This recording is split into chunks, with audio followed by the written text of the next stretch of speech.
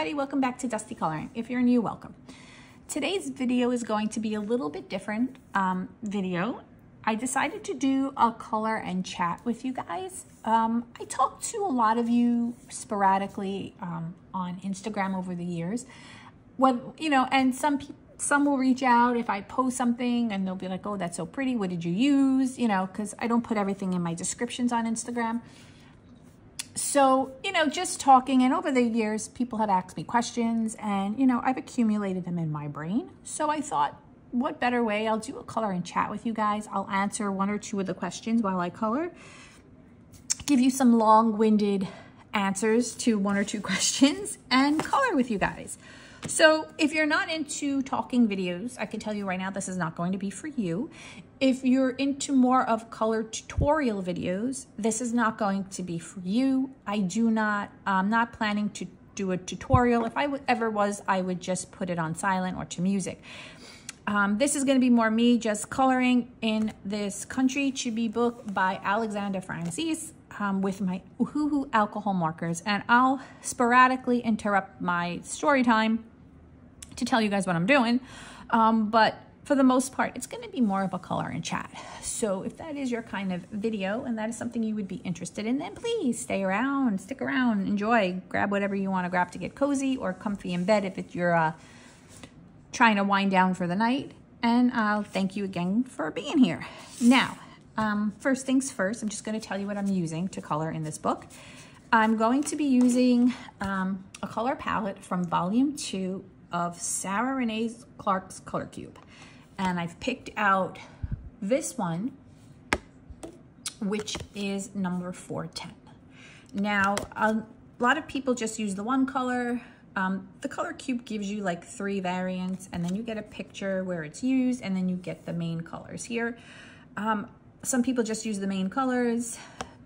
I, depending on what I'm coloring, if it's a, um, a mandala, I'll use just the single colors. If it's an actual picture, sometimes to give myself more of a range, I'll use like each of the colors within the gradient, um, the dark, medium, and light, because sometimes they could be very different colors, but they still all kind of go together. It gives me more of a range. So I'm gonna be going with that for this image that I've picked. Um, I'm using my Ohuhu fine tip and chisel tip markers. I have the 320 set. Now I prefer the brush tip and I do have almost a complete set of the brush tip, which I did not purchase in one. I purchased like the individual sets and got myself almost all the colors that way. And I love those, but they're in an actual marker stand. Um, couple of marker stands on my desk and my desk is a mess and I can't film on my desk. So filming on the table, dining room table, and the lighting is gonna give some shadows here and there. However, since it's not a tutorial and it's more of a color and chat, I'm going to apologize for it, but I'm not gonna make myself go crazy to um, set up lighting and stuff for it. So I do apologize for the shadowing. Um, my Ohuhu, I 320 set, I keep them the fine tip one, they're in the packet came in. And I just used the Ohuhu swatch charts that it came with. I filled them in and I'm just gonna be using, picking out colors and pulling them out of the case, which is off screen because it's too large. Now, the I've started coloring a little bit and then I decided, you know what, let me jump on and let me do a color and chat with you guys. For those who are always asking me questions about myself, I thought this would be great. So I have you guys zoom down a little bit just so you could see a little bit of what I'm doing. Um, I picked out the lemonade stand. Um, I'm not gonna raise you guys back up right now, only because it's kind of like shaky and makes you dizzy. So I'm just gonna leave it like this so you guys can see how I'm coloring. And then at the end, I'll bring it up so you can see the whole picture. Um, what I've done so far is I've grabbed, where's my little palette? I pretty much grabbed some like colors um, all throughout the yellows and I started with that. Um, and then I grabbed like, it's an orange, but I made it, I grabbed a browner color as you can see. So I grabbed, I did the sack, the lemon sack. Um, I did the lemons, I did the lemonade. I made it kind of, I used this color in there um, for a little bit of shadowing and to make it like an Arnold Palmer For those who aren't familiar with an, with an Arnold Palmer drink is, it's pretty much lemonade and iced tea mixed together. And many places you can get it spiked with alcohol. So, but I happen to just like it regular. Um, just find it refreshing because I love iced tea and I like lemonade and then it's like the best of both worlds. And then for the greens, I just grabbed, oh, sorry, some greens. They're not exactly as greeny these are. Like I find like these are darker. Um, so I went with some lighter variant and then I may go over later with pencil to bring it up, but I'd rather go lighter and bring it up with pencil than go too dark and have to lighten it with pencil because I don't always love how that looks. Um, yeah, so we're gonna finish doing the slats right now. And um, one of the questions I'm going to answer, which is kind of a long answer actually, is what are my crafting hobbies and how I got into coloring. So we're gonna do that. Now I'm just gonna ping pong between the darker, the shades. Um, for those of you who want to know what colors I'm using, um, I will list it in the description below and I'm just gonna ping pong back and forth however I feel fit till I get the color I want within the three greens and chat with you guys. So let's get started. Um, I just wanna say hello again and thank you all for stopping by and hanging out. And again, if this isn't your kind of video, I just want to thank you guys for even coming to check me out. Um, there's some other videos you might like, just pretty much completed pages and coloring hauls and coloring plan videos. Um, you're more than welcome to check those out and thank you again. All right, so let's get into my crafting hobbies.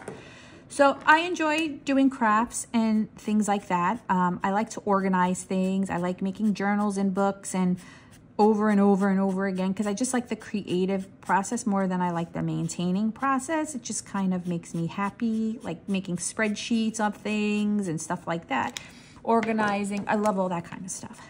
So um, those are just some things that I enjoy doing. But as far as crafting goes, um, I'm not like an artist. I can't draw. Um, I do love to write. Um, I got some silly little books saved that I've written, you know, not doing anything with them because I don't know how or what to do with them. Um, but as far as crafting hobbies go, um, I've always had something going on that I enjoy doing. Um, and for the most part, um, I used to do my first real crafting hobby where I spent tons of money buying supplies was scrapbooking.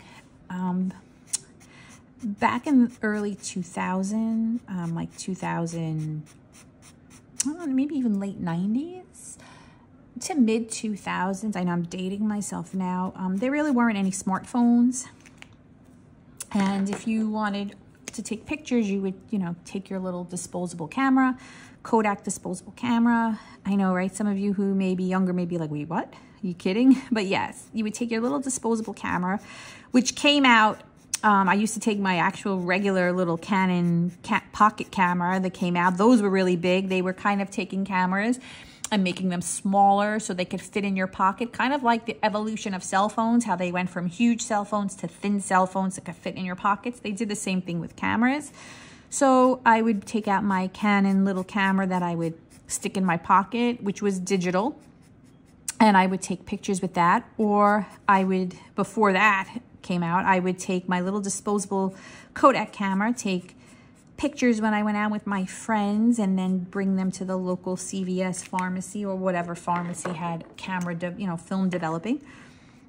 And I'd have all these pictures and I would take just hours and hours and make scrapbooks. And it, you know, I'm glad I did that because I have some really great pictures and really great memories. You know, in a time where having your phone camera on you at all times wasn't really a thing. And um, if I wasn't such a pain in the ass with taking photographs, which back then people wanted to shoot me, but now everyone wants to see pictures, um, I would have missed out on a lot of things. So I'm kind of glad that I did all that. Uh, so I would just do scrapbooks and I had everything. I had a desk with all the paper towers. Um, and I would have tons of construction paper, cardstock of all sizes.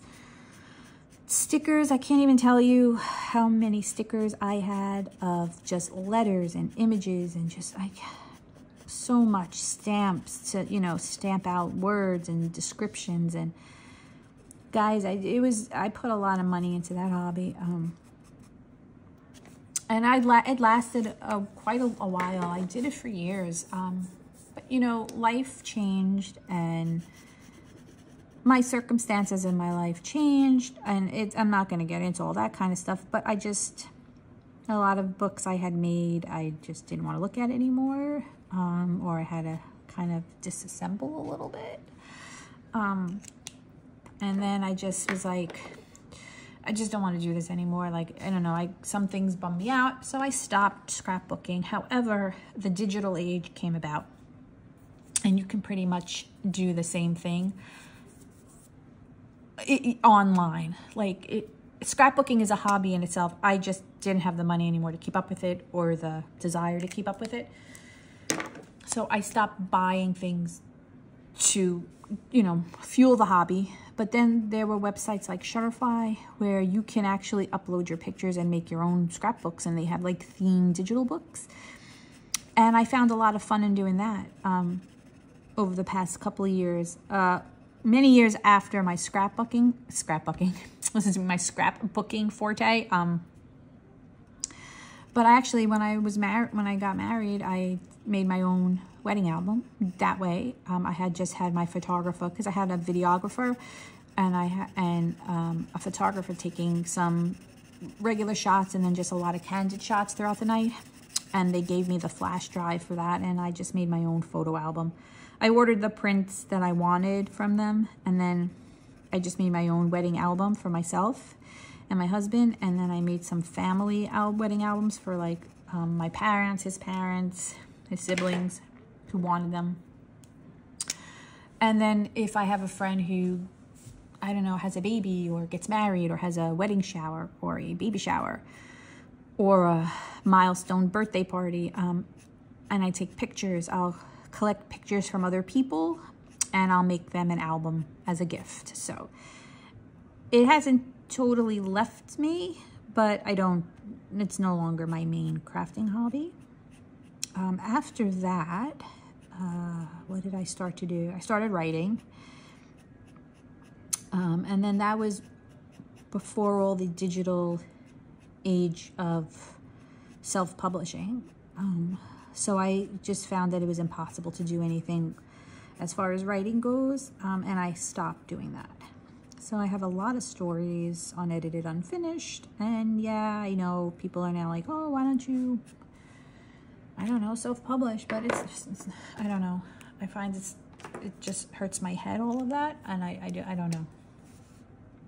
There's a lot of people steal stories and steal things, and you know, when you put so much effort into something, and then you're just going to do it yourself and not know legal this and that, it would just crush me if someone stole something that I, you know, created for in my brain. Um, and that may sound silly, and that may sound like a cop-out, but it again is not my major hobby anymore. So um, after that, I went into diamond painting. Now, diamond painting is huge now, but back then it was not. Um, you would find diamond paintings here and there on Amazon, and um, it wasn't all the rage. I don't. There was no Diamond Art Club back then, or those websites that actually cater to that. It, it was pretty much Amazon or bust. Like you would just find something on Amazon. And usually they were images. Now I realize they were probably stolen images. When I say stolen, I mean there was probably like, um, if you paint by number, there's a couple of like Paintworks and Dimension paint by numbers, which I was really big into paint by number too, guys. That was another habit. We'll get into that in a second. But I noticed a lot of the diamond paintings were copies of those. But there was so little known about the diamond painting back then. I had no idea, you know, that it was probably just someone making it off of someone else's artwork. Um, now it's just like more legit, but I did diamond paint. I did enjoy that. However, it did not keep my interest for the one reason that I've always had a pet and they've always, you know, at the time of diamond painting, it was a cat, cats.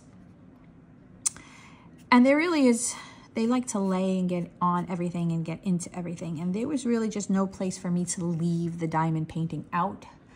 Um, so to do the project, I'd have to put it away. Then I'd have to take it out, set everything up. And I don't know, I'm more of a fly by my pants when it comes to crafting. I don't want to have to sit there and set up and then craft. Um, by the time I finished setting everything up, I kind of like lost interest. I know, typical me. Um, so as much as I enjoy it, um, I, I didn't do it. It didn't last. It didn't hold my interest like as much as, long as scrapbooking did or any of that. Um, I am coming back into diamond painting, but more for like a purpose, like um, because there's diamond paintings I want to hang up. So I want to finish them to hang up. So when I purchase diamond paintings, I, I purchase them with a purpose. It's not just more of like a hobby to collect them and have a stash of them. Um, I actually did that with puzzles. Um, I was, during COVID, I became a huge puzzler. Um, and I had just been collecting them to collect them. Like people, like we collect coloring books now. Um, I was collecting puzzles. I have, I can't even tell you how many puzzles I have. Um, and I didn't lose interest in doing them, but it's again one of those things you have to set up. I found ways to make it work. Um, for those of you who do like to puzzle or do puzzles, I know they have puzzle stands out there, which I'm sure you're all familiar with. Um, but if you're not into puzzles and you only like to do them here and there and you don't want to purchase a puzzle easel or something like that, you can buy a bulletin board. Um, and that's what I did because I didn't have room in my apartment because I lived in an apartment when I was into my puzzling phase. Um, I didn't have really room to set up an easel or put a puzzle a, or somewhere to store even a, a like a laptop kind of puzzle thing. Um, so I would get a bulletin board and I would do my puzzle on the bulletin board and I would stuff the bulletin board under my bed, slide it under my bed or on top of a bookshelf or a dresser. And then when I wanted to do my puzzle, it kind of had a little bit of a lip, so it kind of kept it from sliding off. Um, and I had the huge bulletin board because I was doing like, I had a thousand, some thousand piece puzzles, but they just, oh my gosh, I don't have the attention span for those. So I was sticking within 500 to 750. So I had the um, bulletin board that would fit that size puzzle. And then I would glue them. Um, when I was done, I would slide, and once they were glued, it was glued, um, I would slide oak tag under it and then lift it off of the bulletin board that way and frame it. So I have a couple of puzzles that I frame because then I started collecting uh, puzzles that I wanted to frame. For instance, um, if some of you may know there's a brand of puzzles um, called Dowdle Folk, Folk Art, and I'll put the name in the description. And they have a lot of state, U.S. state themed puzzles and themed puzzles. So um, I used to travel um, back before I had responsibilities. um, I used to do, I used to travel and I did get to see a lot of places. So I'm happy I did all that before I you know, life took over. Um, so I would collect puzzles with places I had been. Um, like I had gone on an Alaskan cruise. Um, so I collected uh, one of the Alaska puzzles. I think it was Ketchikan. Um, I lived in Brooklyn, so I did a Coney Island puzzle that they had from Dowdle, and I framed it, and it's hanging on my wall. And then for my honeymoon, my husband and I had gone to Maui, um, we went to Hawaii and one of the stops was Maui. And I have um, a Maui puzzle hanging on my wall. So like I would do them, glue them, and now they're hanging in my hallway. Um, and there's a couple other ones I want to do um, and hang up. So I'm still into puzzles, but uh, not I don't collect them anymore unless I see something I, you know, old habits die hard. If I'm browsing and I see a puzzle that I just have to have, I, I will get it. But I haven't done that in a while. After puzzling, oh, I told you guys this craft thing was going to take a while. Um, I'm, and I'm just still just going through here. I mean, I need to smooth them out a little bit, but again, I'll do that with pencil. Um, what was after puzzling? After puzzling, I did ceramics. I started collecting ceramics. I would go online to ceramic warehouses and I would purchase ceramic Santa Claus. Um, they have these themed Santa Clauses. Um, if you're into ceramics, you'll know what I'm talking about. If you're not into ceramics, they have themed Santa Clauses. They're called Gare. I believe G-A-R-E Santa Clauses. And they're themed Santa Claus. Santa Clauses. Um, sometimes they have them by state. I did a New York Santa Claus. He was holding a sack, and in his um, sack where toys would be was uh, Empire State Building, a taxi cab, and he was holding an apple in his hand, like for the Big Apple.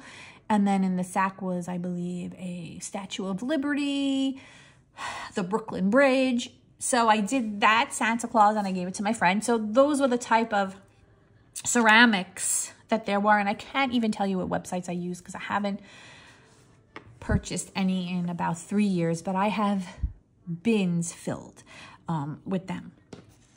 And any kind of Halloween ceramic because I love Halloween. So pumpkins and little Frankensteins and stuff like that I would do and use them as decorations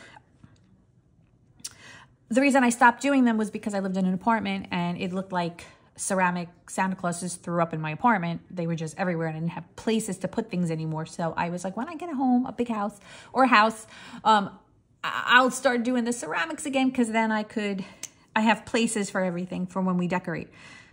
So I do have my house now um, and I haven't decorated yet because we've just been fixing up stuff. So I don't know, maybe I will get into that.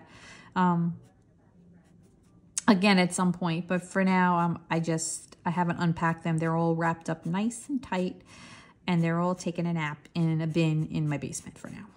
Um, but those are a lot of fun to do. And that's why I have a huge acrylic paint um, collection. I'll try something different. I'm going to gradient that way instead of going up and down. Um, yeah, so that's why I have so much acrylic paint because I would dry brush them, which is another way to ceramic paint. You basically paint your ceramic a color, like a white base. A bl I, I, my painted base of choice was a black base.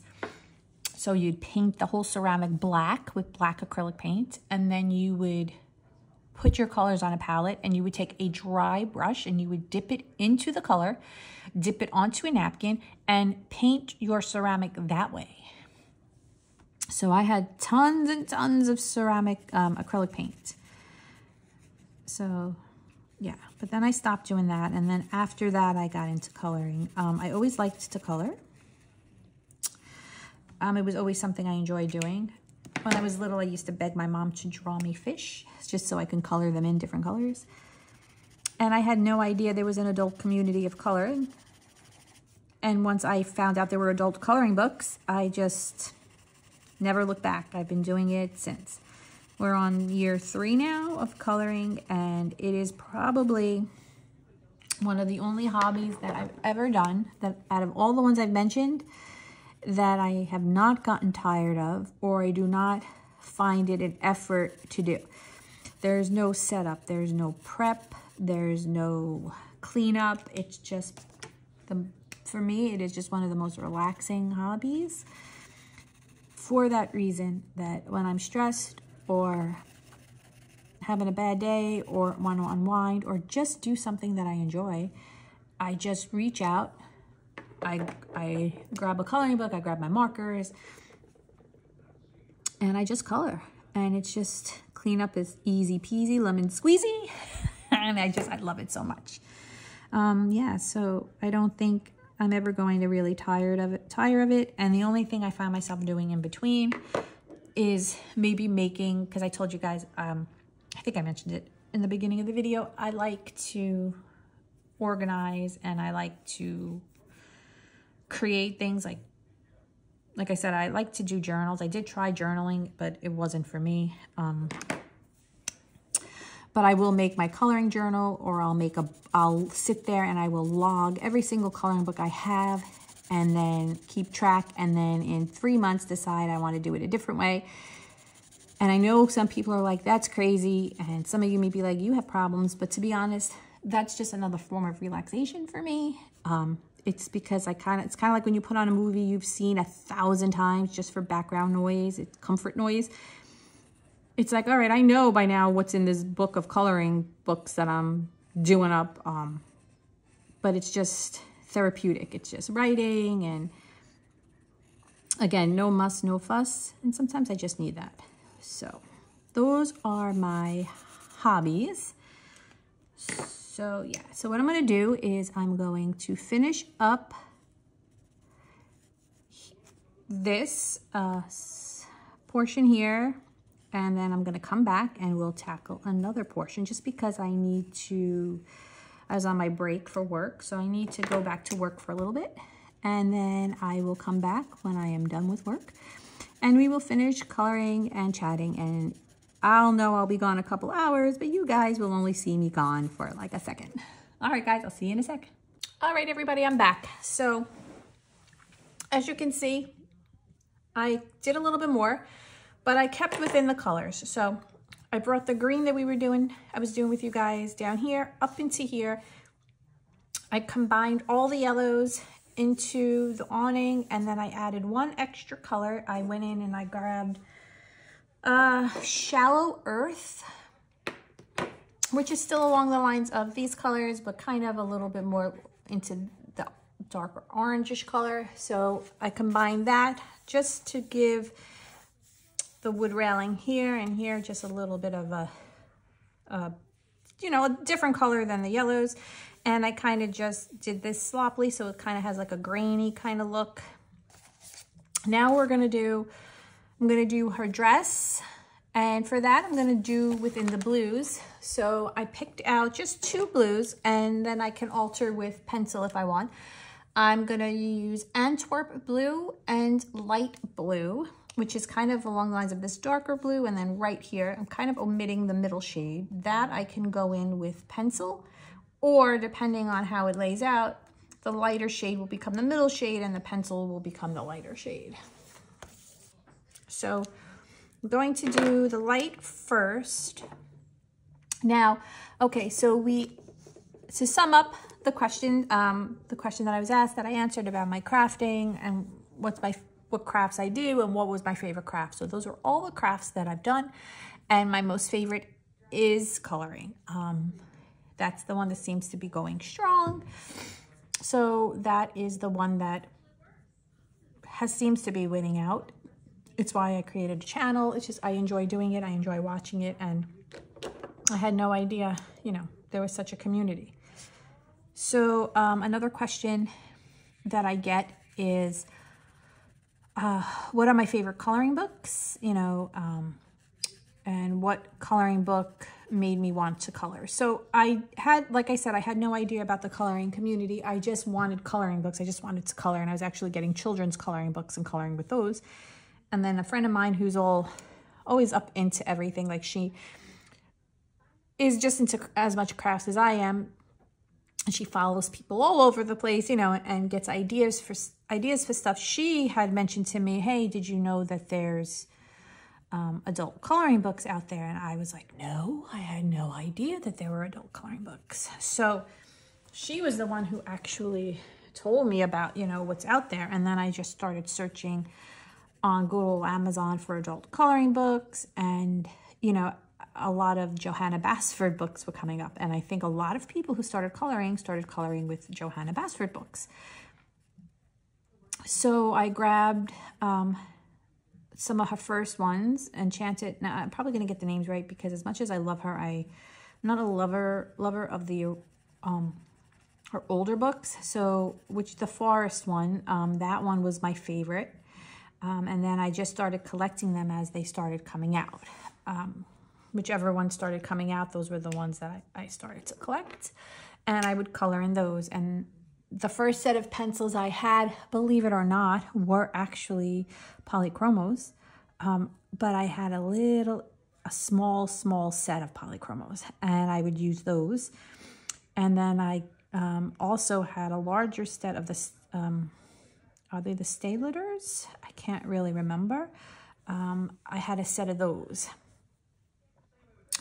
Uh, and I would color with those and I would color in her books with fine liners. So I wasn't really, I didn't really know much about blending, coloring, and all that kind of stuff right off, like right out the gate. Um, but her books were the first books. And then I started, you know, expanding a little bit and getting into other books. And I can't recall, um, okay, I want to say maybe when I started really going back into into coloring, um, which was probably, I want to say in 2021, I started with Jade Summer books. And I was a big fan of Jade Summer books. Um, and I grabbed a bunch of those. And Chibi Girl Horror was my favorite. Now, I wasn't into alcohol markers yet. Um, I didn't really know much about alcohol markers. It was just pencils. And by then I already had established I had gotten my Prismacolor pencils because I really was just rocking the Johanna Basford books, even though I didn't know any better. I didn't know that I didn't love them because um, that was all I knew. And that's really where I was practicing and getting my techniques and figuring stuff out. And then I started coming up on pencils and this and that. So once I really dove into coloring, um, I started branching out of from Johanna Basford and got into the Amazon world of coloring books. And that's when I grabbed my Jade Summer and my Chibi Girl Horror was one of my favorites. Um, I have that one. And then I grabbed some other Jade Summer books.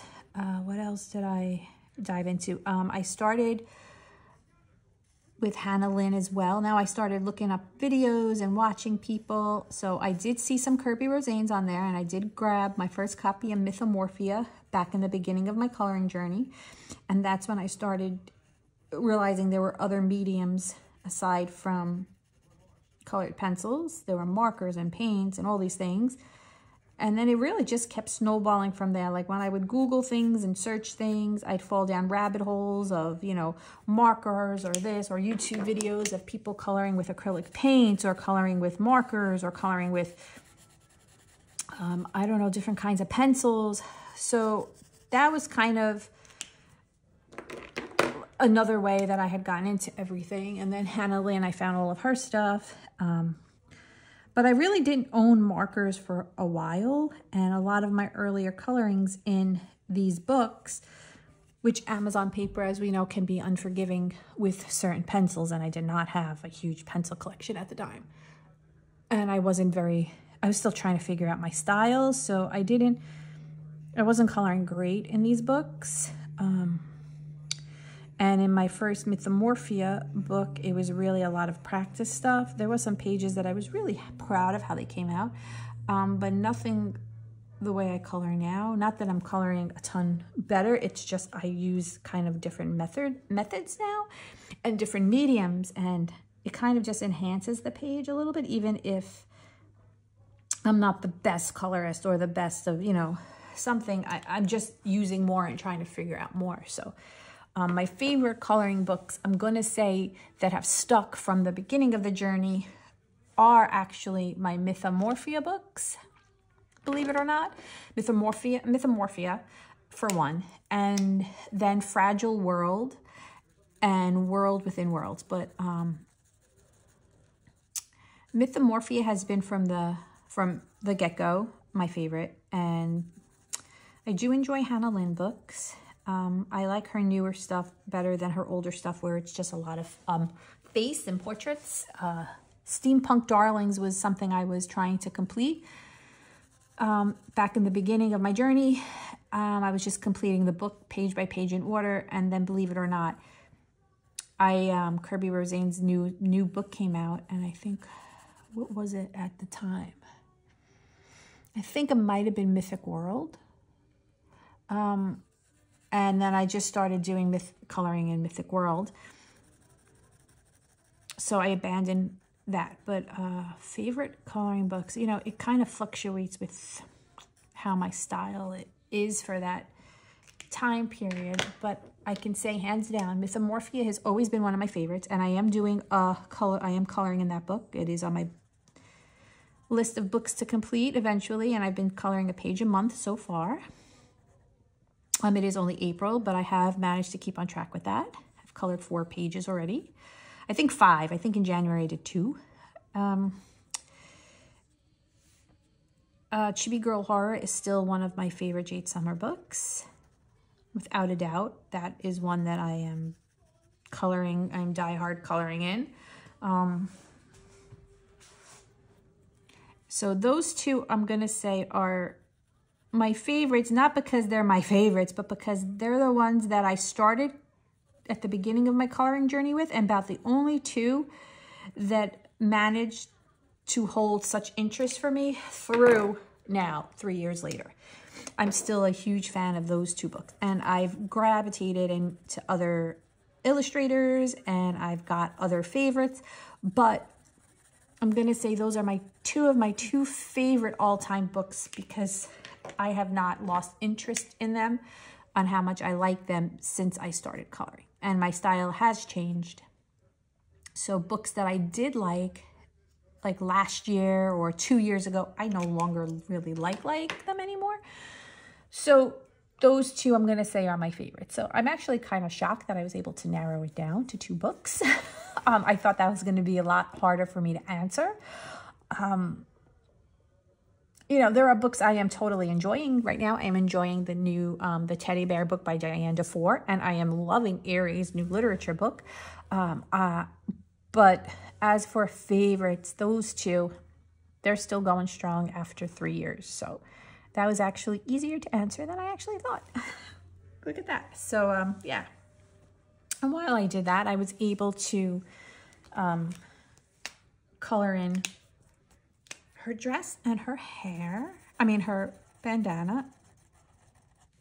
This is just a colorless blender, and I don't usually ever use these for markers. Um, even a little dry. But I just wanted to try and soften up those lines a little bit. Usually I use my colorless blenders for everything else except for alcohol markers. I use them a lot for my water-based pencils, believe it or not. All right, so that was question number two that I got asked a lot was my favorite coloring books.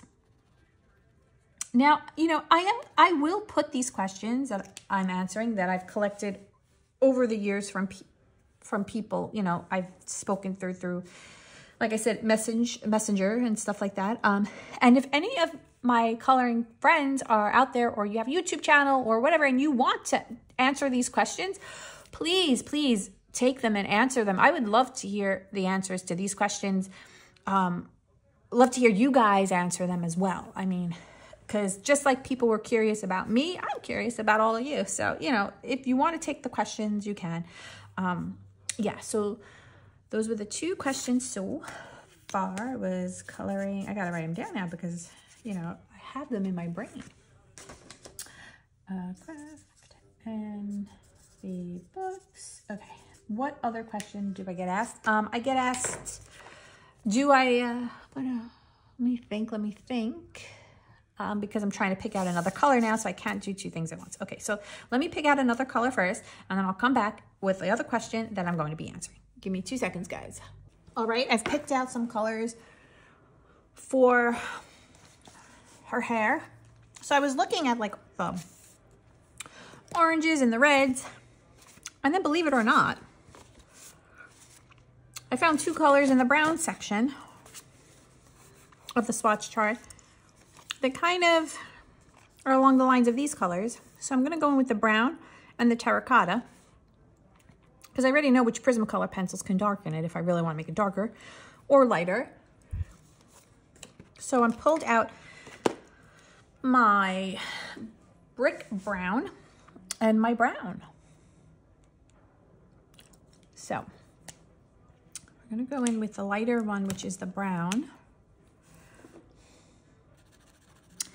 Um, another question uh, that I was asked, because I did post some completed page videos where I had done one or two split colorings with my husband.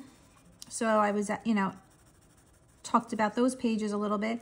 Um, and then I was asked, you know, do does he, do we craft together? And the answer is no. Um, he actually does not have a lot of hobbies like I have. Um, he's not a hobbyist at any rate. Um, his hobby that he does enjoy is he does enjoy gaming. So I guess you can call that kind of a hobby. Um, but he's more of a gamer. And that takes up, you know, in those intri intricate games with the headphones and interacting with other people. So he, um, he does a lot of that. So no, we do not have hobbies together. And actually him and I are kind of like polar opposites with, with everything. Like I like to read, he doesn't like to read. Um, I like to watch movies. He doesn't like to watch movies. Um, very rarely will he sit down and watch TV or watch a movie. Um, he likes more of TV shows like Shark Tank and um, I don't know, stuff like that. More, I want to say reality TV, believe it or not. And I don't like any of that stuff. Um, I'm more of a geeky kind of TV watcher. Like I like Discovery Channel and I like documentaries. Um, he does like murder documentaries though and mystery documentaries that we do share in common. And I also like to just put on, as you can, from what I said before, I have Gilligan's Island on in the background. I just like to put on things I've seen and watch them over and over. Um, whether it be while I'm coloring or while I'm, I don't know, organizing, journaling something, or just sitting down to unwind, I'd rather watch something I've already seen so that I don't have to fully concentrate on it and I just enjoy it that way. So yeah, no, we do not share hobbies together. And it was nice those couple of times I got him to actually split color with me. Um, yeah, he has tried to get me to play some video games and I used to love video games. Um, but they're, the gra graphics have gotten so much better, obviously, and they're like so lifelike, but I get very dizzy when some of the things you kind of feel like you're like right in the middle of it and the screen is like pivoting left and pivoting right or your character standing still but the screen like is moving around you at all angles to look at i get dizzy um because i do get motion sick. And i can't concentrate and i'm not very good at those types of video games. And that's like the newer ones that are on like that were on like Nintendo Wii when that came out or on those kind of gaming stations. Um, yeah, even his World of Warcraft that he plays, it's a lot going on for me. Um, it's like I like them, but I, I'm not able to play them. So there aren't many games that I do play, but we did have the Nintendo Wii. And, you know, we did play some of the bowling games and the Mario Kart. And sometimes you can get some older Mario Brother games, which I love. Um, so I'm more of a simple video game person um, than these really cool games that are out now, which I think are really cool. I just, unfortunately, like I'm not able to play them. Um, yeah. So there's that question. Uh, do I, how about friends? I was asked that too. Um, you know, um, my one friend, she is into crafting as much as I am, and her craft mood um, fluctuates like my mood. Um, she was diamond painting hardcore for a while and then she was like, I need a break because she was like so addicted to it and loved it so much. Now she's actually into coloring. She was drawing for a little while and she actually realized she actually is quite a good artist. Like she can draw. Um, but now she's into coloring too. So it's so funny. I've been doing this for three years and she just started doing it and she'll be like, oh, I found this coloring book and someone's talking about it. I'm like, I have it. and she's like, what? And actually, she was one of the persons when I did my um, uncluttering of my coloring books that um, took a lot of coloring books. Uh, yeah, so, but we don't color together. We don't get together to color. Um, unfortunately, we have like, you know, work and the, it's just hard. When we do get together, um, we do go to the same hairdresser. So that is our outing together. We do that once every two months. We get our hair colored and cut. Um, and it's like, because it's two of us, we're there for like four hours because, you know, we're getting colors and highlights and cuts, but it's nice because that's we catch up and we'll grab something to eat. But no, I don't craft with anyone. I just kind of craft with myself and with you find people who are watching. Um, I remember I posted um, when I was posting the giveaway videos, someone asked where I was located because um, times and this and that. And I am actually am located in the States, in the United States, and I am on the East Coast in the tri-state area, New York area,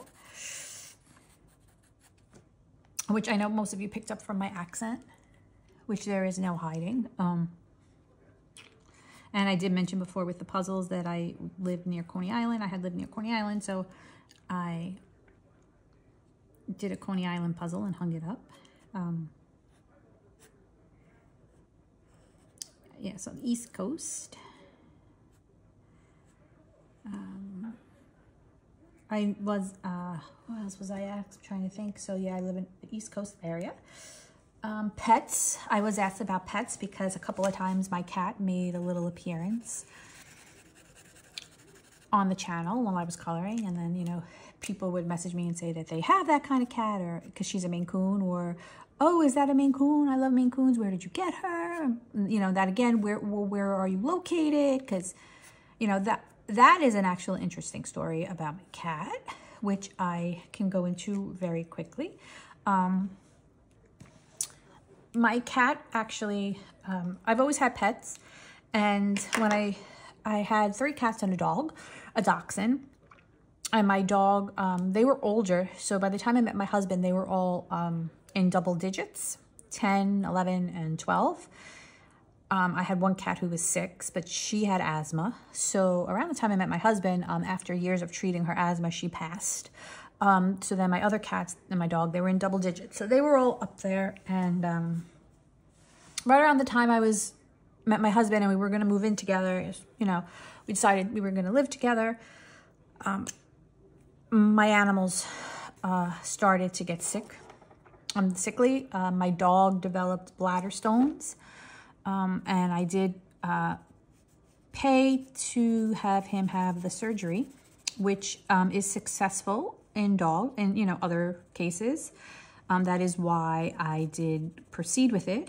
But I believe my dog also had um, cancer, um, which I think they tried to tell me about because he had a large, large, he was a full-size dachshund because I know there's mini ones and he had about a cantaloupe, uh, if you ever, a mango, mango size um, mass on his side. And I think they were trying to tell me before I did the surgery that, you know, um, that's probably cancer and, you know, it may affect the outcome of his recovery. But, you know, we didn't do any testing on it and the dog was in pain from not being able to urinate. So I, um, I just told them to do the surgery um, and they did. And he never really recovered from it, unfortunately. Um, I had taken him to an emergency, um, a local emergency um, clinic, and they did the surgery there. Um, and then my normal um, doctor, um, veterinarian, uh, said um, that there's he doesn't have a lot of blood in his body, something with you can tell by the gums, and that something was taking it, and it was probably the mass, the tumor. So my dog came home in May from his surgery, late May. And sadly, um, I had to put him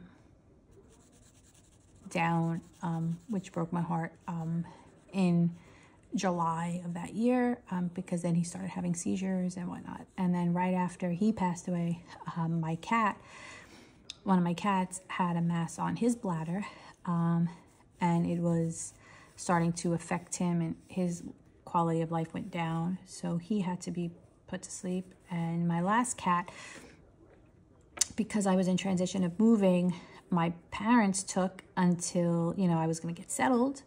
But he was old too. And then he just decided that he just didn't want to go on. And um, he got very sick. But not very sick, like just one day he just stopped coming out for food he was hiding a lot and um,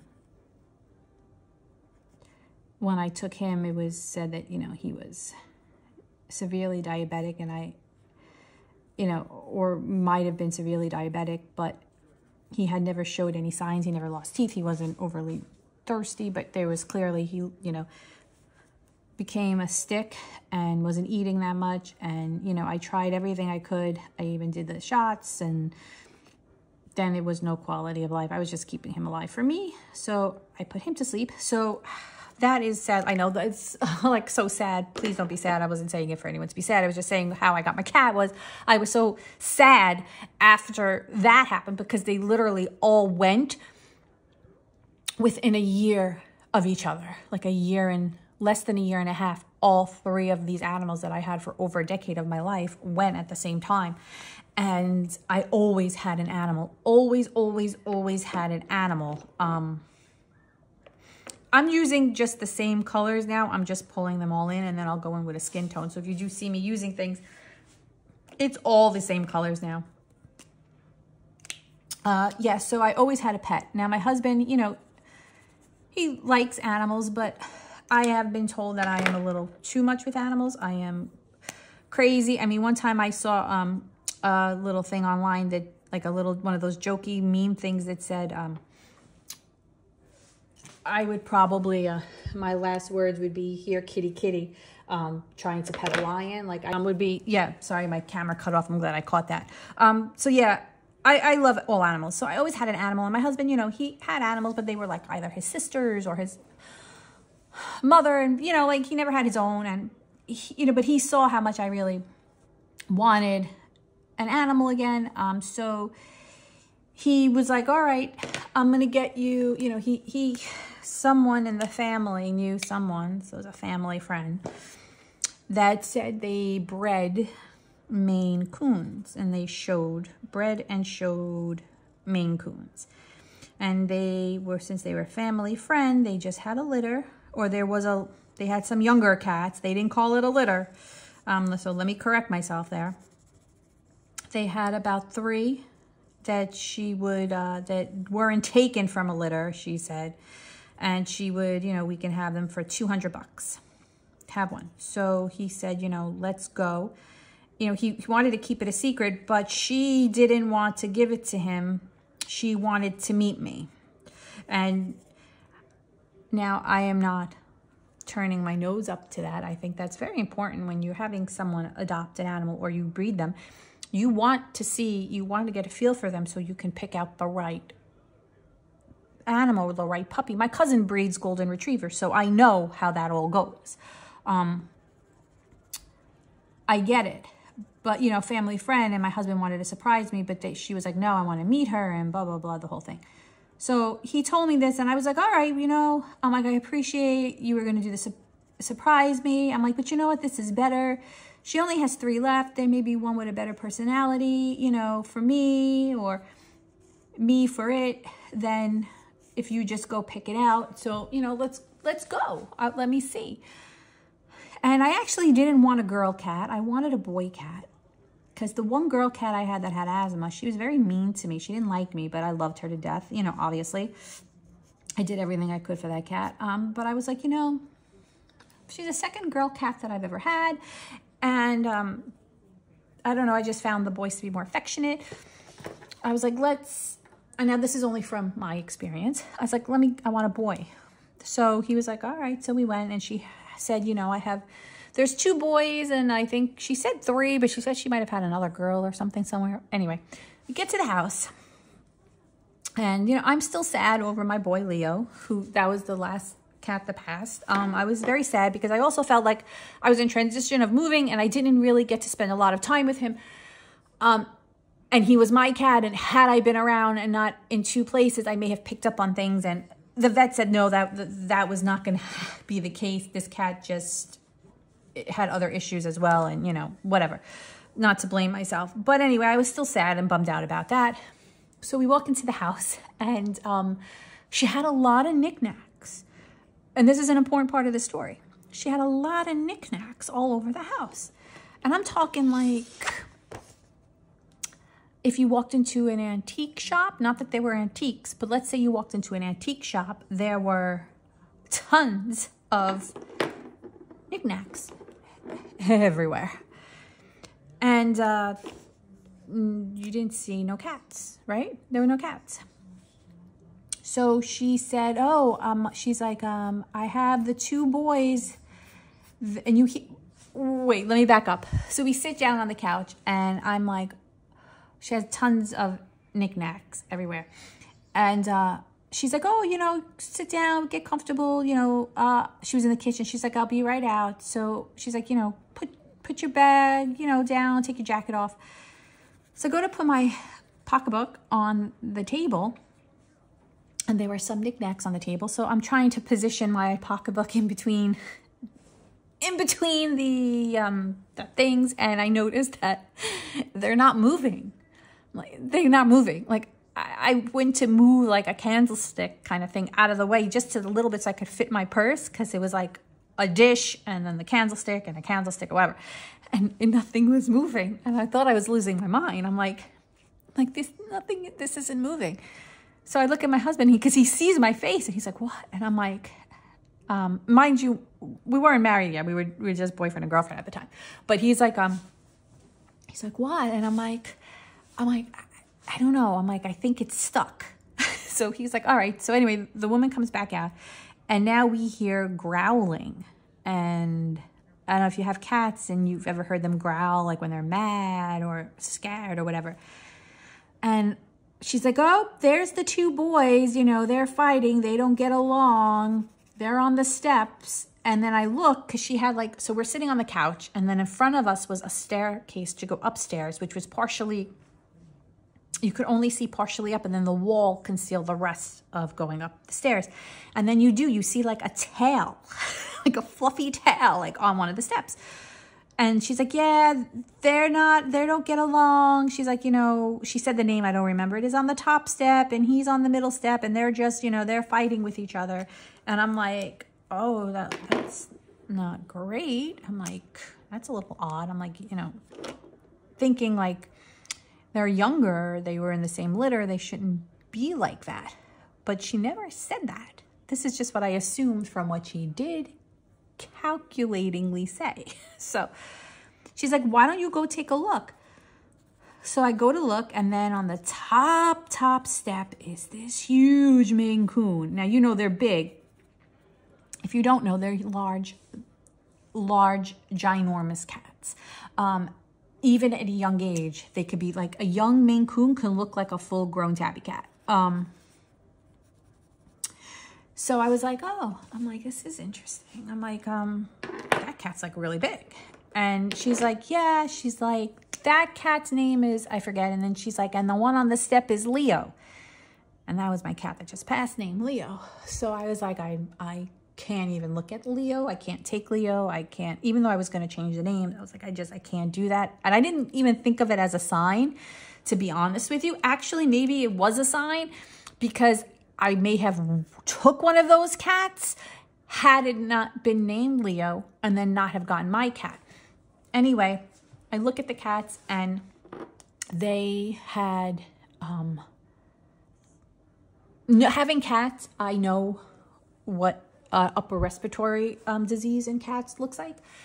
And they look like they had just gotten over it, but not just gotten over it regularly, like just gotten over it to the point that they weren't very um, attended to while they had it. They both had like um, white fur patches under their like their necks and their like chest were white. And one of them's chest fur was stained yellow, which meant that he had just got he had pus coming out of his nose that probably dripped down his face onto his chest thing. That's how bad he probably had it. And their eyes were all gooked over, and the other cat still had gook in his nose. And I know that is a lifelong ailment once they get that. And I was like, look, I can't. I just, I'm like, I'm sorry. I'm like, you know, we'll think about it, you know, this and that. Like, I wasn't making any commitment. And then my husband saw that I was like not into it, and he didn't understand why, because he didn't really ever have cats where he understood, like, sicknesses and illnesses, but he just saw that I was just put off by it. And then um, as we were talking to her, like he bumped into a table with knickknacks and he's like, oh no. and nothing fell over. And she laughed and said, Oh, you're not gonna, nothing's gonna fall over in this house. Everything's glued down. And we were like, What? And sure enough, every single knickknack, every single figurine, candlestick, candelabra, uh, little dish where you would maybe put candy or mint was actually crazy glued down. And I said to her, I was like, why is that? Uh, like, at first I didn't even ask. She, we, we sat back down and she's explaining, oh, everything's glued down. And I'm just like, that's so weird. Why is everything glued down? Like, I couldn't understand it. And with that, this little cat, this little petite girl cat, six month old she had to be, comes running out of the kitchen, runs up to us, grabs her toy stick that was under the coffee table, grabs a little furry end, and runs away with it. And that was my cat. And I looked at her and I was like, who's that? And she was said the name of the cat. I can't remember what name she named it. And I was like, is that the other one? Is that one one of them? And she's like, oh yeah, I just didn't mention it because you know you he he said he wanted a girl, a boy, and that's a girl. And I'm like, I don't know what it was. I just saw her for two seconds and there was just something about her that tugged at my heart. And I was like, no, I, I, will take, I want her. Can, can I see her? So she grabbed her and she brought her out and she was so scared. And she was, she was like, oh yeah. She's like, um, she was tiny, right? So I thought she was under, like, I thought she was young. And she's like, yeah, this is blah, blah, blah. And, you know, she was this and that. And she's like, um, yeah, yeah, no, if you want her, you know, she's a little shy and this and that. And I'm like, no. And, you know, she, she was just like, okay. So it would shock me because I was kind of like, wait a minute, you wanted to see me. I thought you were going to make me do this whole process of whether or not you were going to give me a cat. And she, all I said was, oh, is she one of the ones up, you know, that I can take? And she was like, yeah, you go. I just found it like just odd. But I was like, all right. She's like, I have a carrier. I'll get it for you. She's like, oh, she's like, do you want to see its its father? Do you want to see her father? And I'm like, yeah. Oh, mind you, too, she had pictures on the walls of like she said were magazine shoots of these beautiful Maine Coons. She's like, oh yeah, we did a photo shoot and you know, this this cat did this and this cat did this magazine and this and that. And I'm like, oh wow, so nice, you know. I mean, it was interesting. I wasn't being facetious. Anyway, to make a long story short, too late with that, but she opened up her basement door and she's like, here, I'll show you the father. And she went a whistle or something like that. And it was like a TV show. 20 Maine Coon cats came running out of her basement. And when I say Maine Coons, I mean the full Maine Coon size cats that you see on TV and on Instagram and all those things. Yeah, full size Maine Coon cats, 20 to 21 cats. I'm not lying because I stopped counting at 13 and there were more. That's why everything was nailed down. I mean, glued down. That's why this cat was shy and she wasn't shy. She was scared. She was the smallest cat out of 21 cats, who, by the way, were not, she was not a breeder. At that point, I was like, oh no, no, no. She's a hoarder. She's hoarding cats. I was like, there is no way she's breeding them because, my, like I said, my cousin breeds my, um, golden retrievers. She has four girls, but they are not bred in her home. She goes to a special clinic with another breeder and they artificially breed these animals. Her cats were breeding. So, anyway, I'm sure a bunch of you are like shaking your heads right now. Yeah. So, anyway, that's how I got my cat. I took her from a hoarder who I guess in her brain is a breeder. And I had my cat three days and she came down with the upper respiratory that the other two cats had. Um, I was kind of hoping maybe she wouldn't have, um, but she did. She also wasn't three months old. She was a she was six months old. She was a runt, so she was tiny. As a full-grown eight and a half year old Maine Coon now, um, she is only nine and a half to 10 pounds and has always only been nine and a half to 10 pounds. which for a Maine Coon is very small. She has deformed nails um, on her paws. They grow flat and into her paw pads, and I will not have them remove them because um, at the time I was living near um, a vet, a doctor who was able to able to trim them without any issues. I can't do it because of the deformity. Um, and then when I moved, people were having a harder time and suggested that, you know, even though declawing is outlawed um, in some states, medical necessity, but I said no. I said not at her age and not at this point. Let's just cut them the best we can. And if I have to come more frequently, I will. Um, every now and then I make a trip back to my old one, um, back in my old, where I used to live before I had even moved in with my husband. Because um, the vet tech there is amazing and she cuts them without incident. Um, yeah, so my cat came from a hoarder. She was probably interbred and she has a lot of health issues. She gets flare-ups of the upper respiratory um, all the time. And as she's getting older, she's getting more health concerns. She has arthritis. Um, she has uh, bum hip. Um, she gets um, a lighter form of the upper respiratory where it turn, just it's just conjunctivitis in one eye um, to which I have to treat and put drops in. And if she gets upset or stressed or worked up, she will get flare-ups. Um, if she gets depressed, that happens. So when I do take vacations, um, she does get sick while I'm away. So it's very hard for me to go away because I have to have somebody who is aware of what's going on with her. Um, the last time I went away, I did um, have her receive an antibiotic shot just to prevent an infection from a flare-up because they can overcome some of those upper respiratory issues on their own with their immune system. But when her eye flares up, she does need drops. So it is kind of hard. And she does get depressed because her and I are very attached. So when I am not around, she does get sad, believe it or not. Um, but she is my princess. Um, and I love her. And I'm, you know, that is how I got my cat. Um, so when I tell people she is a Maine Coon, everyone gets so excited. But, you know, she is not your typical Maine Coon. So there's that story. Um, let's see, what else? Um, I was asked how and when I like to do my, when I color. Um, because like I said, I mentioned a few times I can't color at my desk or, you know, I didn't have a craft space or back when I lived in the apartment, I would color on my couch. And then when I moved, I was so excited to actually have um,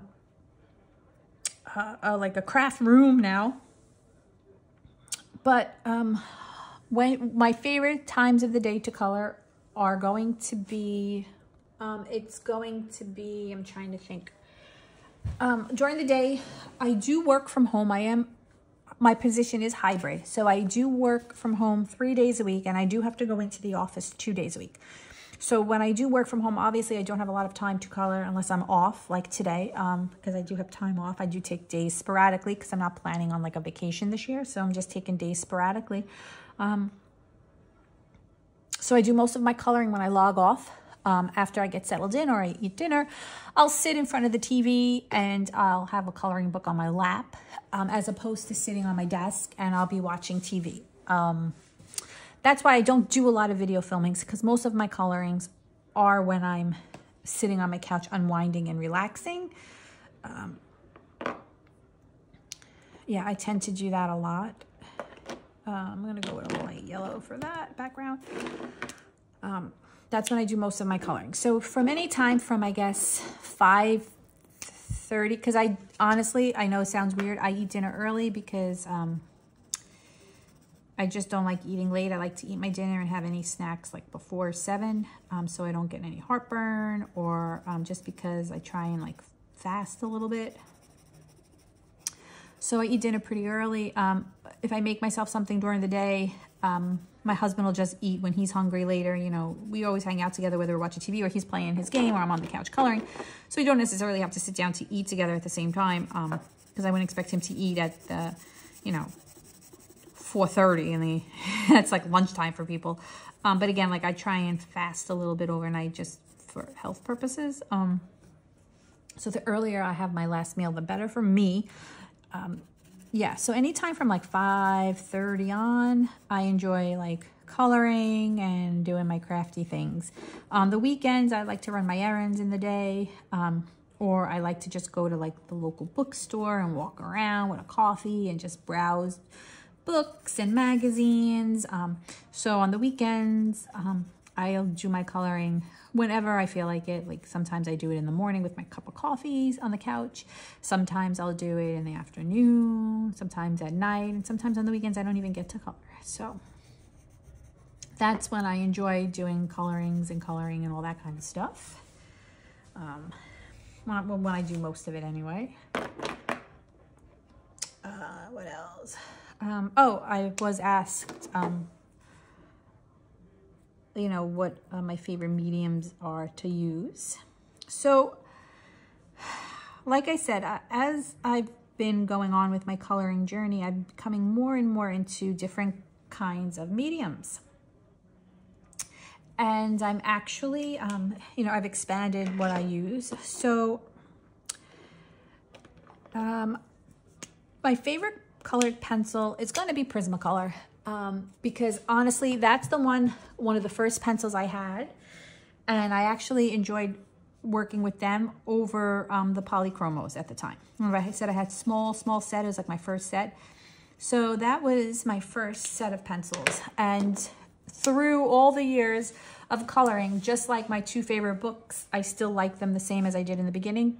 I'm going to say my Prismacolor pencils are my favorite medium to use when using colored pencils. Um, I just have the most color combinations. I'm the most familiar. Like I could look at this and I can tell you which Prismacolor pencil corresponds um, with it. And that's just because I'm just from the most familiar with those pencils. Um, I like them the most.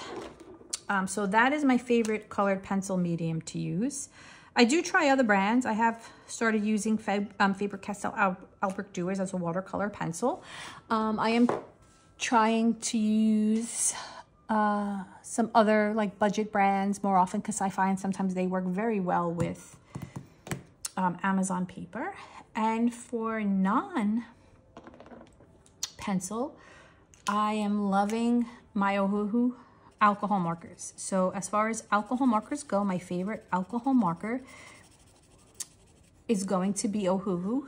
And I know there's other ones out there, but you know, I did invest a lot of my money, even though they are somewhat affordable, in purchasing the Ohuhu um, brush tip set and purchasing the fi fine tip. Okay, I'm lying. I got the fine tip this brand I'm using as a gift. But someone, my husband, did buy it for me. So, you know, I did invest a lot in getting these. So these are the markers that I have and these are the markers that I use. And even though I have a gazillion colored pencils, I only have the Ohuhus as alcohol markers. I do have Tombows. Um, I don't enjoy using them. Um, I think I need to learn how to use them a little bit better. And then maybe I might enjoy them more. Um, so when I do want to do a marker, I just tend to pull out my, oh, sorry. I think someone's knocking on my door. Hang on, guys. Yes, it was my Chewy delivery. My cat just got some snack food. okay, um, yeah, so I just use markers. So Prismacolor, favorite medium for colored pencil. Markers, favorite medium is going to be my Ohuhu markers. Favorite medium aside from markers or um, pencil. I'm enjoying playing with watercolor paints now. I've been doing some watercolor paints in my um, Mythomorphia book. And um, I've been using the Neocolor 2 water soluble on uh, one or two pages I did in one of my Hanna Karlzon books. So I'm going to say I, I'm enjoying those right now. Now, which one of those two are my favorite, I can't say because I'm using them in the same manner. And I haven't found one that I'm enjoying more than the other because I'm still kind of new at the watercolor backgrounds and the Neocolor 2 backgrounds because I don't use them frequently. So right now, other than these guys, um, pencils, markers, stuff like that, Um, I'm enjoying Neocolor 2s and I have the Gansai Tambi watercolor paints. So I've been using those. So out of those, I can't really say um, which one is my favorite yet, but I am leaning towards I'm leaning towards the watercolor paints, to be honest. I just feel like I have more control over them than I have over the, um, the Neocolor 2s. Um, maybe I need to practice a little more with my Neocolor 2s, but when I use my watercolor paints, I use them thick unless I want them to spread. Um, then I make them watery. So I feel when I use them thicker, I have more control of how to blend them, how I'm blending, sometimes darker, and then I can put some light into it and I can drag the dark. Where the Neo colors, I feel like, I don't know. I, I, I'm just not there yet with it. So I'm more into the watercolor paints. I'm just trying to pick out a pink for the piggy bank, um, which isn't in the color scheme, but I'm just going to make it a light pink. And then I'll do the cup that color as well. I'm just trying to find one that I like that's not like pink pink. I see I have a pinkish vanilla. And then I'm going to do her cream color. Okay, so to find pinkish vanilla. Okay, so I found that pretty quick. Just do this. Um, as far as other mediums go, I love my jelly rolls, um, but for white, uh, white gel pens, I enjoy the Sakura Jelly Roll number 10. The white number 10 I find is works best for me as far as me adding like white gel pen accents and highlights. Or the white Uniball Signo, which is my favorite favorite. Uh, I have a ton of those as well. So it's either the white jelly roll, number 10, I guess that has to do with the size maybe of the point. I don't, I'm not 100%, but that's the one I love the most. That's the one I find works best. Uh, I'm gonna leave a little white there. I might make it like a highlight with my white jelly roll.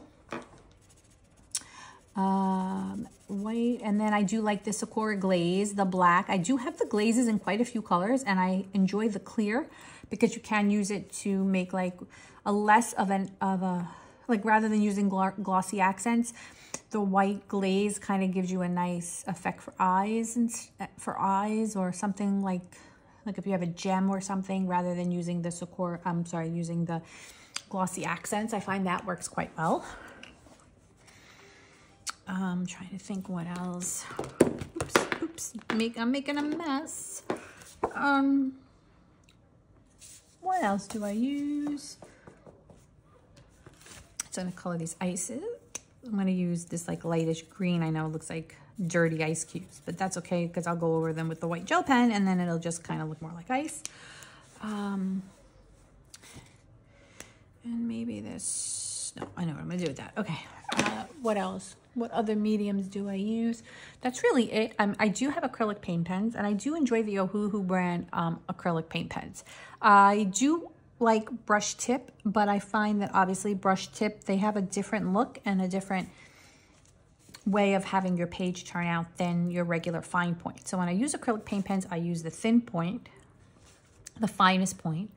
Um, and I do like the Ohuhu or the um, Truly Arts, even though I find they clog up a lot on me. Um, those are two of my favorite um, paint pens. As far as brush tips go, um, does have brush tips, but again, they're like all the other brush tip um, acrylic paint pens out there. They do give your page a different look. So if you are trying to do little highlights, um, more controlled highlights, you want to go with probably the fine point as opposed, to the brush is good for getting rid of like a lot, like if I wanted to get rid of all the black lines, the brush, if it's opaque enough, depending on the brand, is better for that. Whereas your little highlights and accents, it's better with the fine tip. And those are my favorite mediums. Those are really, those are really all that I use. Um, trying to find a color for her skin now that I want to use. Um, I'm gonna just go in with a cream color if I can find it, and then just go over her skin with some pencils. I'm not going to do a background just yet. Um, and I might not even do a background. So,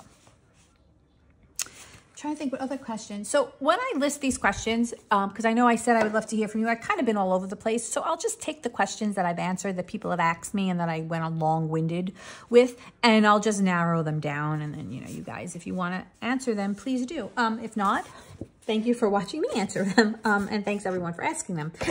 Um, excuse me, hiccup. Trying to look for this cream color for her skin. Um, let's see. All right, I found my cream color. Actually, I just, that weird color, I made the ice cubes. I'm gonna make the straw. Okay. And now we'll do her skin. I'm trying to think. Favorite coloring books, favorite medium. Got my cat, where I live, favorite time to color. Uh, I know that when I had um, was asked like, you know, when my favorite time to color is, and I said, you know, I like to color when I watch TV. People did ask, oh, are you watching anything good? Because, you know, so many people like to binge watch TV series. You know, do I have a favorite TV show? Actually, to be honest, I'm not a big so as far as TV goes, like um regular TV, I'm not a big TV fan. I don't have a lot of TV shows um that I that I watch. I'm more of a if something interests me, I'll wait till the whole season is finished and then I will find it on a streaming channel and I will binge watch it as opposed to watching it every week. Um, I don't like that. I hate waiting. So I'd rather, rather than wait, because then, you know, sometimes life is busy and you miss an episode. I mean, and then you have to wait two days for it to stream. And then, I don't know. I just rather, it's too much pressure. I just rather, when the series is over, just binge watch the entire series. I mean, that problem with that is then you hear about things that happen, especially if it's a popular show. The only show that I will not wait and that I do watch, um, is Outlander. That I will watch as it's aired um, because I do love Outlander so much. I love that, that show. So that I will watch as it's aired. And, you know, usually I try and make myself available to watch it. And if I am out when it on the days it's on, I try to catch it um, like later on that night like i'll stay up to watch it if it, if there's if it's on another again at another time or i watch it a second it becomes available. Yeah so that's like a big one for me. Um, what else? Um, i was big on game of thrones. Um, I have not watched House of the Dragon yet. I started watching it when it first came out and I decided that I wanted to wait until it was all out to binge watch it and then I never got to and I know the second season's coming out and everyone I know who likes it tells me that I need to watch the first season but you know I might watch the first season once the second season is halfway through that way I can binge the first, and then by the time I'm finished watching the first, the second, you know, will be out and I can catch it. Because I do have all the streaming channels. I actually don't have cable. I have streaming channels instead. Um, cable is way too expensive in my area, and I'm just not a fan of how they work it, you know, what they charge you for what they offer. Um, I'd rather just pay the same in streaming channels and have a little bit of everything. It's not like I'm trying to beat the price, probably paying as much with all the streaming channels I have, but I kind of feel like I'm getting more for my money that way. You know, I was paying a lot of money for cable and extra boxes and I still had to pick which channels I wanted as a basic plan and I literally didn't get any more than those channels and I kind of thought that was like a ripoff.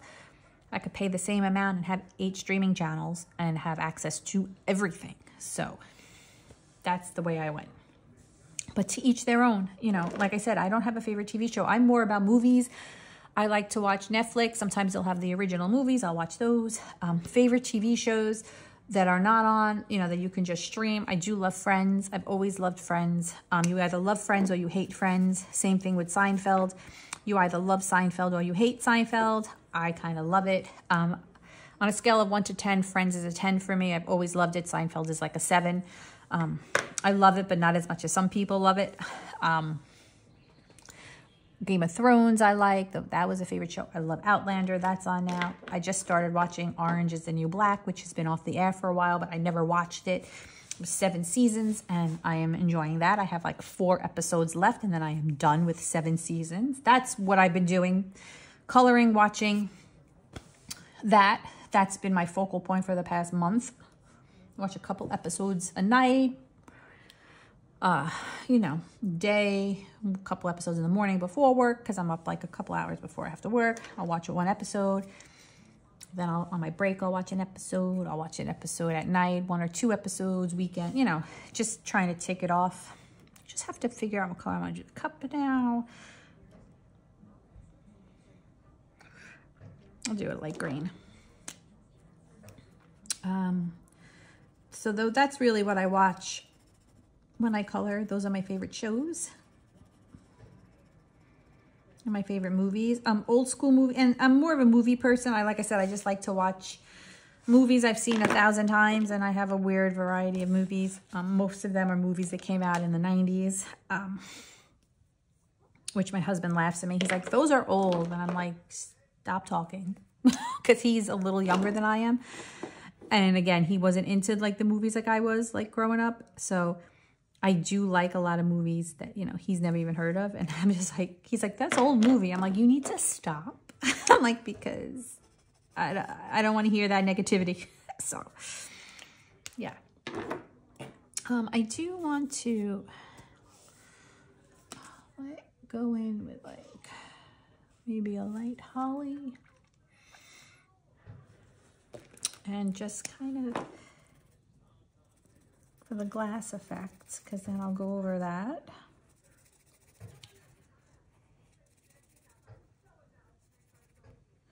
Um, I was asked a couple of times because I live in New York, you know, do I, believe it or not, someone asked me like, you know, oh, do you, do you own a car? Because I guess New York people think, oh, transportation. But I'm actually not in Manhattan, New York or um, in, in the city. So um, I do have a car because like now I'm kind of outside the city. Um, but still in the tri-state area. So uh, yeah, I need a car now.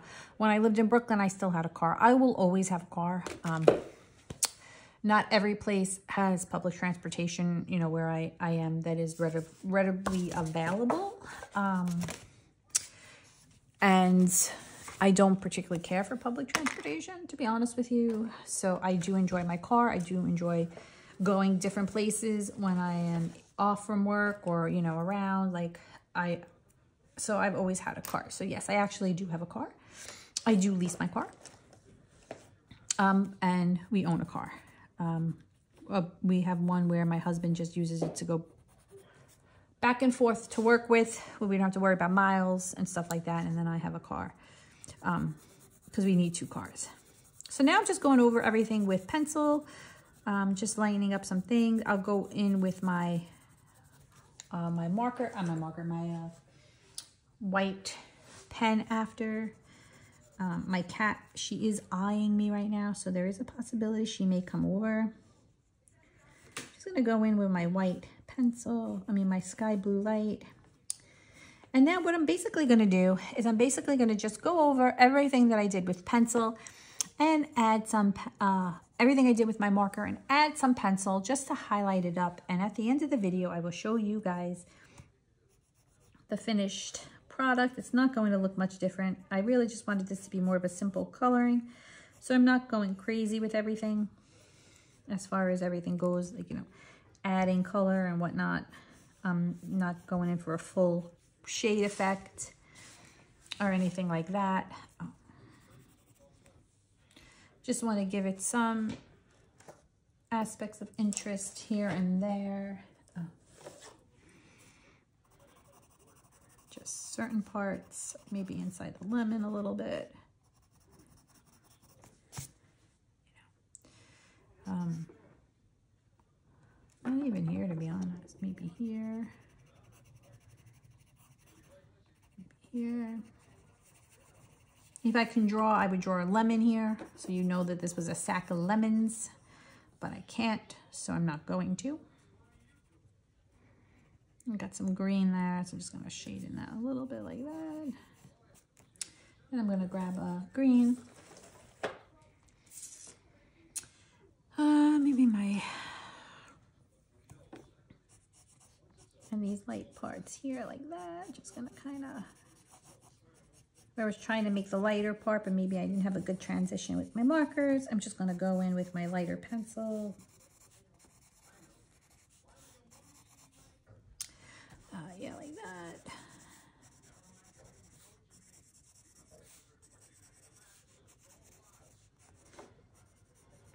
This, like this, and like that. All right, and I think that's really all I'm gonna do. Um, I can give her, I can just go in and maybe just shade her skin a little bit. I'm not, oh, I don't enjoy doing skin tones all that much, to be honest. I'm not good at it, but I'm gonna take a very similar color pencil and just maybe here a little, here, here, before cat. She keeps getting closer and closer. She's sitting and she's every two, I look, she's like a step closer, but still sitting. Like I see her moving out of the corner of my eye, but every time I look at her, she's still sitting.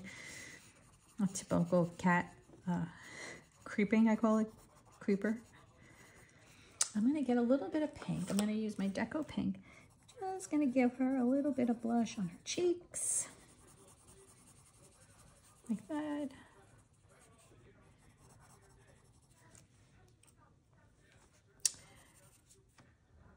Usually, I sometimes, if I had my black, I can give her a little bit more of a nose. Nah, I'm just gonna leave it. I'm not gonna, usually with the Hannah Lynn's, I try and give them a little bit more of a nose. I'm not gonna do that with her. I'm gonna go in though with my nectar actually and just make appear a little darker. Um, here like this, maybe here just a little bit.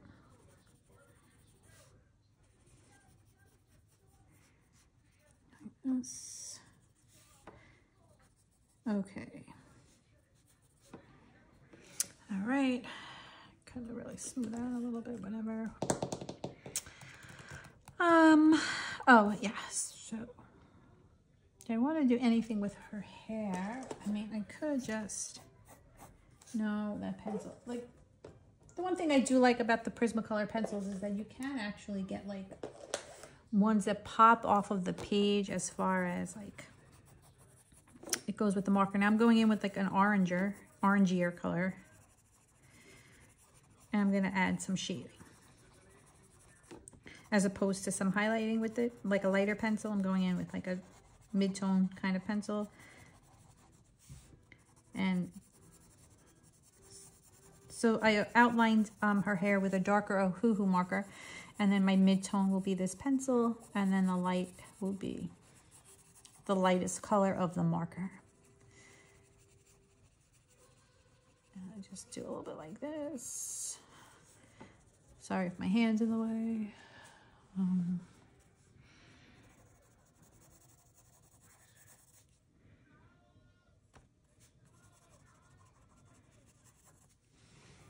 maybe appear a little bit.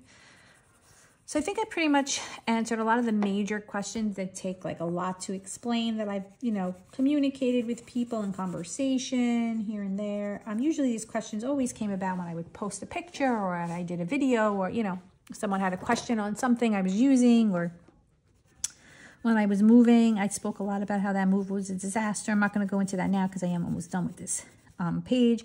Um, but that did stem for a lot of other questions. So, you know, yeah, so I think I answered like some of the main questions that kept me occupied talking a little bit. Um, hopefully you guys enjoyed the color portion of it. Um, like I said, it was nothing fancy, just a little, you guys can get to know me a little bit. Because there are a lot of people who don't message, you know, who haven't asked me questions. Um, again, I am very horrible when it comes to answering my Instagrams. Um, so if anyone does message me, I probably will not get back to you for weeks. Only because I, I when I post something, I'm just posting it, uploading it. I'm not really scrolling around Instagram. Um, so I do apologize for that. But, you know, if you do have any questions, feel free to drop them in the comments. I can always do another video and answer a couple more questions for you guys. Um, that would always be good. If I did do a color along, it would probably be something like this because it's easier for me to hang out with you guys and do. All right, so, so let me just add my little white gel pen. All right, everybody, I just added some white gel pen. Um, and this is the one I was talking about, the Gelly Roll. So um, 10, the Sakura Gelly Roll 10. Oh, wait, you can't see it. Hang on. Let me focus that for you. Yeah. And I just, oh, sorry for the shake. I just added some white here and there. Um, and that's it. This is just really more for a simple coloring. I had a sheet behind here for the alcohol to pick up the alcohol markers, and that is pretty much it. I just want to thank you guys for watching. I want to thank you guys for hanging out with me today, listening to my color and chat. Um, I will list the questions in the description box in a more organized format and less, um, you know, easier than the way I answer them. Should anybody want to answer some questions, um, you know, in their own videos, that's fine. If not, that's fine too. Again, thank you all for watching. I hope you enjoyed this video and um, if you have any questions about anything I used, um, just ask uh, listed in the comments and I will try and put all the colors for the Ohuhu markers that I use along with the Color Cue palette in the description box as well. Please stay well and I shall talk to you guys soon. Bye.